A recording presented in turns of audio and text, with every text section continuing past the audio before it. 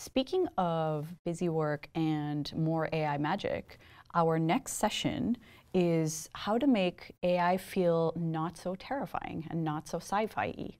So Seth, I'm sure you have a lot of thoughts. And it, we had a great conversation earlier, an actual serious conversation about the ethics of AI. They're very few and far between, so I think we should highlight This is it. true. We should quickly talk about it before mm. the moment passes. So mm. tell us about the ethics of AI and what is the first question everyone should ask before they go and start building AI things? Great question. My first approach to this is always understand what it actually is. Mm -hmm. I'm going to tell you what AI is in a sentence, so it's not so sci-fi, and then Chloe's going to show you how it's totally that. Mm-hmm. Basically, AI as it is now is a lazy way of writing functions with data. Mm, yep. That's it. And once you, once you recognize that, then you need to start from an ethical perspective and ask, this lazy function that I'm writing with data, mm -hmm. who will it impact and how? And that's before you even start collecting data. Start once you have that question at the forefront, then you're able to make some good ethical decisions. For example, if you're building an AI that tells you whether someone may or may not default on a loan so that you can maybe let them have a loan, you should think about who is that impacting mm-hmm. and how. And once you do that, then you'll be able to look at your data and be like, hmm, looks like we've only been lending to a certain class or type mm-hmm. of people. So our AI algorithm is not going to be very good at even getting new and different customers. Mm-hmm. You see what I'm saying? And that and that and that's not even getting into other issues of, of ethics like racism and other issues. Right. Just like you might be building a product that is self-selecting for the current customer you have so you won't grow. And that's that's a huge problem when it comes to AI and ethics. You just you know you're building a function, mm-hmm. who is it impacting, how, and then you can go from there. We're going to continue this conversation after Chloe's session because I also have a ton of input into who, who is writing AI. All right, Chloe, Seth and I will shut up. Over to you. Can't wait to see what you got. All right. Hello, hello, hello, everyone. I'm so, so excited. And just to um, pile off of what Seth and uh, Donna were just saying, I completely agree. I think that this is a really interesting opportunity to be able to use AI not only to kind of make those mundane tasks become a little bit more automated, but it's also an opportunity for so many of our citizen developers out there to get their feet wet with AI and realize the capabilities of it and then you know, beyond Power Apps, maybe create your own ethical AI situations and formats yourself. So could not agree more. Excited. We'll be tuning in for the conversation afterwards, y'all. Um, so hello, everyone. My name is Chloe Condon. I am a cloud advocate here at Microsoft, and I will go ahead and show my slides now. Um, but I am going to be talking all about how to make AI feel less like sci-fi. Um, so this talk, is, obviously, um, most of us here joining for Powerful Devs, we're citizen developers, and uh, this is going to be a talk about how we can use AI, even though maybe it might be a bit of a, a scary topic for, for some of us. So I'm going to go ahead and get started here. So, a little bit about me and who I am and what I do. Again, my name is Chloe Condon. My Twitter handle is just my name there in the corner if you want to tweet any questions to me that I can answer afterwards. And I'm a cloud advocate at Microsoft. I work on the academic team here. So, a lot of my job is to educate um, students and enable them to use Azure. Um, I'm also an actress turned developer, which usually is a fun fact that I share. I'm getting a little bit of feedback on my sound here, so I'm going to pause for a sec. There. All right, there we go. I was getting a little bit of feedback, but I think we are back to normal. All right, so a little bit about myself. Um, I'm an actress turned developer, which usually is kind of a fun fact that I share, uh, but it's actually really, really relevant to this particular talk because my previous day job was working in a lot of citizen developer type roles. So I worked in the fields of recruiting, office management. I worked as an executive assistant for a little bit. I worked in retail. Uh, I was a customer support agent for a brief moment in my life. So um, this talk really, oops, let's see. Let me share my screen here. Sorry, y'all. And a little bit of technical difficulty. There we go. That should be much better. It's getting a little bit of feedback, but I think we're good. All right, back to the slides. I think we're good now. screen is shared. All right, so here's the first slide. If you missed it here, uh, how to make AI feel less like sci-fi and we'll go right back here. Alrighty, so um, as I was mentioning, I previously worked in the field of recruiting, office management, executive assistant work, retail, customer support. So this talk I really wrote with my previous self in mind. Um, I really want you to think of this uh, talk as if Chloe could go in a time machine and give herself power apps to automate these really mundane tasks, as Seth mentioned before. So before we kind of get started into the uh, meat and potatoes of all of this, let's review what artificial intelligence is and maybe what it means to us. So what comes to mind when you think of artificial intelligence. Now, personally, for me, um, I started learning how to code five or six years ago. Um, and I attended a boot camp where I learned most of my Python and JavaScript knowledge. But I pictured this movie, which is called Artificial Intelligence. Um, it is a uh, movie starring Jude Law and Haley Joel Osment. Um, and if you're unfamiliar, the plot is about a robotic boy who's the first boy to be programmed to love, um, who's adopted as a test case as a Cybertronics employee. So I hear that description and I think, wow, that is way beyond my skill set, especially as a citizen developer. Um, but it's one of the first sci fi movies I've ever seen, and it truly defined, as a non technical individual at the time when I was 10 or 11 years old, what AI was. Um, it's a fascinating, the film itself is a fascinating commentary on robotic sentience and machine learning. It's a heartbreaking film, so get your tissues out for sure. But the reason I bring up this film isn't because I am a uh, Stanley Kubrick fan. It's because I actually um, wanted to share oops, let me make sure I've got my screen shared up here. Um, the reason I wanted to share this fun fact with you is not because I'm a Stanley Kubrick fan. It's actually because I wanted to illustrate that um, all I knew about AI before I, I, any of this was this film. And it's beyond my skill set and not anywhere near my skill set at the time, although I am getting a little bit closer. Um, and when you kind of think of these uh, basic like when you think of the term AI and you do a, a quick image search for it, this is what you're going to see. You're going to see a lot of images of what is AI, machine learning, a lot of images representing some matrix looking style code overlaid as a brain or a face or body or hands. A little intimidating, right? Um, usually this is symbolizing data information. Um, and obviously, we're training data to become human like so it can learn. And it, the visual representation has become very person like, which I think can be a little bit of an entry to barrier when we think, oh, AI and machine learning, way, way beyond what I can do as a non technical person. Um, but machine intelligence actually helps us make decisions, learn, predict outcomes, recognize speech, recognize language. There's so, so many things that we can automate. Now, I know we have a lot of citizen developers on this call, and I'm going to assume that most of the folks here today are newer to AI or maybe even feel a little afraid of it. Like, I don't know, robots? I don't know, Chloe. um, but here I'm going to kind of show you the scope of what can be accomplished by someone not familiar with code or the concepts of machine learning. So here we go. And that's okay. If you're totally unfamiliar with AI, I've been there and I'm here to say it's not as sci fi like as you may perceive. In fact, there's ways to use artificial intelligence and machine learning in very small but easy, impactful ways that allow your business to not only become more efficient, um, but also to automate, predict, and gain value from the data that you have. Um, let's see. Sorry, y'all. We're having a little bit of screen share issues, so I am going to share my screen again. All right, and here we go. All right. So artificial intelligence can be for everyone. Um, so as I mentioned before, I previously worked in a bunch of non-technical roles. Um, and if you're unfamiliar with AI Builder, um, it's a no code interface that allows folks to enhance their apps and business processes with AI, and it allows easy ways to build and configure things within Power Apps. So, of course, this is a conference all about Power Platform, so I don't need to go too much into why creating tools and APIs and features that are easily implemented with no code is important. However, I really want to iterate, reiterate just how exciting it is to me that these tools are not only available to everyone, including citizen developers um, and developers looking to save time, but it gives folks the power to create tools and enable business processes that previously were unavailable to the average citizen.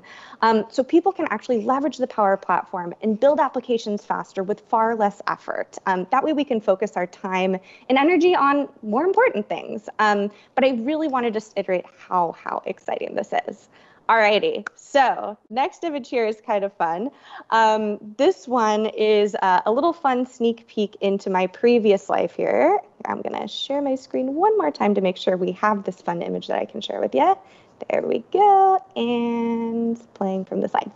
Alrighty, so here is a picture of me in college. I worked at a toy store.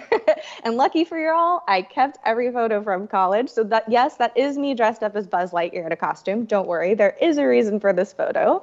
So at college, I worked in um, several different uh, jobs, including retail. I worked as a customer support agent for a little bit of time.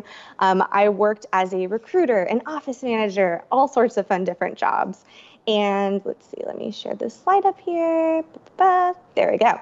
So um, here's a picture, as I was mentioning, of me as Buzz Lightyear. And I want you to think of a different time where Chloe had very different colored hair in a different, different world, um, where a lot of my job was uh, working in retail during the day. And if you've ever worked in retail before, you've probably heard of inventory management. Um, this is an essential part of business management.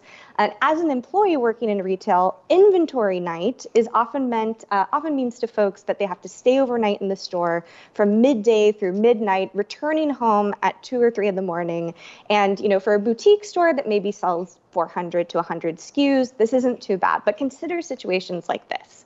I used to work at a toy store, and one such night, myself and a coworker were tasked with counting and checking how many magic towels we had in stock. So if you've never seen a magic towel before, uh, the image that I'm sharing on this slide here is a non-branded magic towel. Usually they have a children's image on it or cartoon of some kind. And we had to go through hundreds and hundreds of different magic towels and determine how many we had left. We had to um, write down what the SKUs were, um, what the different designs were, if they were missing the barcode so we could go back to them later. And we sat in the back room for hours taking turns, reading the SKUs to each other, counting the items, double checking the items. Now, as humans, um, this is an incredibly long task. Um, working overnight on little sleep, not only is it time consuming, but there's a lot of room for error. Um, and it allows uh, and and but imagine, imagine if you will, if there was a way to make this easier. So instead of two individuals being trained to pick out the towel, identify each towel, um, share each towel into a maybe write them down physically, put them in a document, however that looks like for them. Imagine if there was a way that we could automate this. Okay, you're probably seeing where this is going, right? So, um, believe it or not, this is absolutely possible to automate with the power of AI Builder. So with object detection, we can actually identify and count objects within any image. This way we can automate business processes based on real-time data, data that we've inputted from a separate source. We can identify low supplies, we can flag unexpected items, so much more automatically. And we don't have to be counting each towel. That's the most important part, right? So with the ability to create apps that include object detection, it's incredibly simple and easy to create and design an application that can count and track these items with the power of object detection in AI Builder. So it's really, really simple, as simple as selecting your domain, choosing the objects you'd like to detect, add the images, tag the images, and train them. So I'll walk that through that um, for everyone now. But for the sake of this example, let's say that we're doing one with magic towels. So in this um, particular image that I'm sharing with you, it's an image of the uh, what looks to be a Microsoft store, because I'm seeing some Surface items here, and it's individually categorized each one of these objects on a retail shelf. So you can see this is just a screenshot from using AI Builder. There's a bunch of different ways that we can uh, decide or determine how we want to sort these items. Maybe it's common objects, uh, objects on retail shelves. Maybe it's brand logos. So if we're able to identify an object from a brand logo, we can do it that way. Um, so I'm going to go to step one here. So step one that we need to do to use AI Builder is teach the model about our objects. So we need to select or define the object names and upload 15 images of each of these things. So you're probably thinking, okay, why do I need to upload 15 images? Great question, y'all. So in order to be able to train a model to accurately be able to identify um, what it is we're going to be categorizing, we actually need to train it on a minimum um, of 15 items to make sure, yes, this is uh, this is the item that we're looking for, and this is how we categorize it. So um, I'm going to choose what objects I want to be detected. In this case, I'm going to choose to detect different colored towels. But of course, this can also be defined by a SKU, an inventory name. Um, for the sake of this demo, I'm just making them towels. So I have a miscellaneous towel here. I have a blue towel, a green towel, an orange towel. Now, if you're unfamiliar with how the code version of this would work or how machine learning or AI models work, this is basically a UI that's allowing us to kind of extract the main parts of what it would look like to code our own AI or ML solution here. So we're saying, hey, these are the four different tells that I want to be, be able to identify from an image. Um, next step of object detection is going to be to add our images and to tag them. So this step is fun. Um, as I said, you'll need 15 images of each item, and these are things you can either upload um, from SharePoint, blob storage, maybe on your computer, and then we're going to tag them to train our model. So here's an example of that here.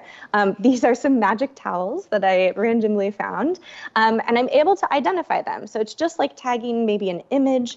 Um, I'm tagging, hey, this is the green one here. This is what the miscellaneous one, miscellaneous one looks like, and here's what an orange one would look like. Um, so once we've trained our model and we've found at least, um, oh, I should also mention it's not 15 images. You actually need 15 15 images of each item. So I'll need 15 of the miscellaneous, 15 of the green, 15 of the orange. Um, next step here is going to be to publish our uh, publish our models. That way we can actually learn from this data. And I'm going to share my screen one more time here. Here we go. Um, and once we have that model, we can actually use it going forward. And that way, uh, we don't have to go piece by piece, item by item, write them down, transfer them onto into a, a, virtual data set, it's all right there for us. So in this particular example here, I have um, different examples of tea. So imagine not only the time that I'm able to, to spend on other more important tasks, so I'm not sitting in a back room counting all these magic towels, um, but also this gives, uh, especially in today's economy where we're unable to be close to people, a job that maybe would have taken two, three, maybe five people can now be done by one person by taking a photo. So I'm all about making people's lives easier, and this is just a great example of that. Alrighty, so my next one here that I'm going to talk about is form processing. Now, I know we have a bunch of citizen developers in the chat here. We probably have to process a lot of forms. I know a lot of my job as an executive assistant, as an office manager, doing a lot of my day-to-day tasks included inputting forms, inputting business cards, all sorts of fun things like that. So form processing um, I'm particularly excited about this one, allows us the capabilities to automatically process documents. So you can save time on doing routine tasks, um, extract downloaded files, put them to, into AI Builder, and then you'll be able to train and test them. Alrighty, so um, here's a here's just an example of the image screen. So these are just some test documents that have been added in here. So the first step would be to upload at least five different versions of the same basic document. Now, typically, if um, we have some sort of input form for an employee, maybe you work in HR, or perhaps you have resumes that you need to upload. I know I was a recruiter in my previous life, so I can understand uh, how that could be a, a task that maybe you would think, gosh, I wish there was some sort of robot or some sort of way to automate this for me. That is where machine learning is going to become very, very useful. So let me share my slide right here. Alrighty. So Form processing, very, very similar. You'll probably notice that this is a similar situation to what things look like with identifying objects in our images. So here we have a form, um, and we have a couple different sections here, the from section, the bill to section. Um, we have the subtotal, the tax, the shipping, the total, and of course the balance due. And using the power of AI Builder, we're actually able to, instead of having to go through form by form, identify, you know, how much balance is due on each of these things. AI Builder is doing that for us. Um, I'm super, super excited about this one in particular because Fun fact about me, another throwback photo of Chloe. I actually used to work as a virtual personal assistant, and a lot of my job included data entry. Um, so, with the power of being able to automatically process these documents um, with these applications, you can enjoy that extra free time and spend it doing more important things. You don't have to reinvent the wheel, as Seth mentioned before. Um, these are tasks that you can automate using the power of AI and using the power of machine learning.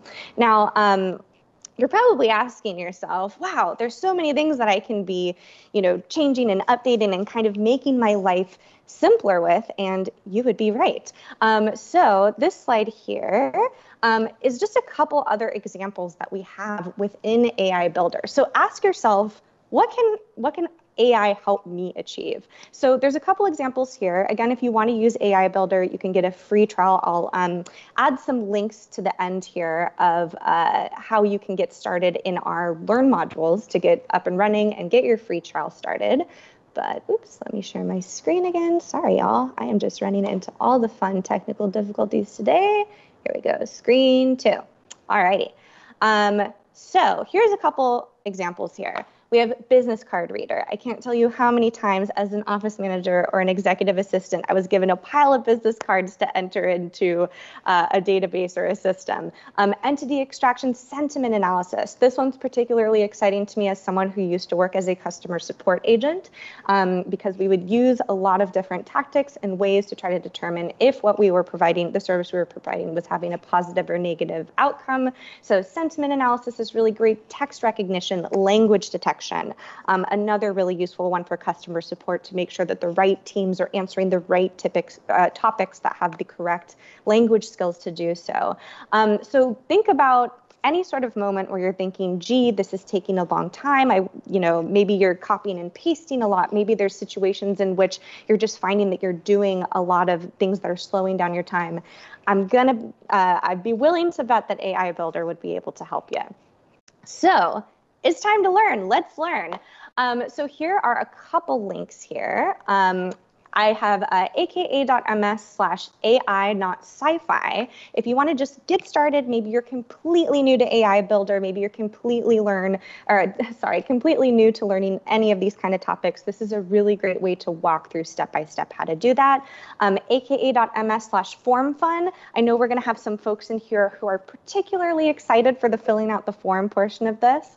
Um, and I will be chatting over on dev.to, um, doing an AMA, answering any of your questions on this. So if you have specific use cases, maybe, or maybe um, you're thinking, huh, maybe is this is this something that I could use to automate this process? Or uh, maybe you're thinking, well, you know, I don't know if if it would be able to determine different animals in an image or different. Uh, maybe I work for a very specific type of data that I need to be sharing. I'm happy to answer those questions for you. I'm going to share this slide for you one more time so we can get it up here. Here we go. And uh, but yeah, I'm super super excited um, to see what y'all build with AI Builder. Please please please tag me on Twitter. Find me. Let me know what you're building. Let me know how this has made your life more easy because gee, I uh, I cannot reiterate enough how much. I guess I need to work on my time machine skills in addition to my AI builder skills, so I can go back and tell Chloe uh, back in the day that she should be not spending time putting on a podcast and copying and paste info into a spreadsheet. Um, so again, my name is Chloe Condon here are these lovely links uh, that you can come and learn more on Microsoft Learn. And that is about enough from me. And I will send it on over to our lovely hosts, who I'm sure have amazing, amazing, especially Seth has amazing, wonderful mm. things to contribute to this conversation. So thanks y'all for joining, and I will see you on dev.to.